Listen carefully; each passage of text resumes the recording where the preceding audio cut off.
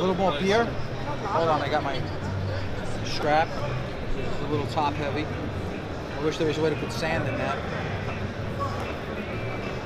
There you go. Created just for the IPCPR. I made my own little label for them. They haven't come around yet.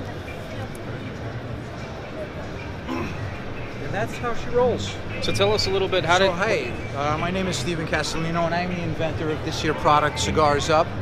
And uh, it's a great product for the beach and the pool. Easily snaps onto your beverage of choice, cradles your cigar, allows you to drink without taking the cigar off. Makes a wonderful grif- uh, gift for the holidays. We're offering it now in this display packaging, which we just launched here at the show. Comes with the carry pouch, allow you to keep a cutter and a lighter in there as well as the product.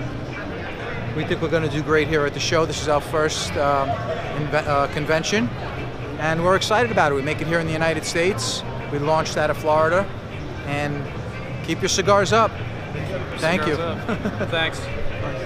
Oh yeah, price. What, Oh, what price. retail wise? Uh, retail anywhere from $9.99, and it's on Amazon for $12.89.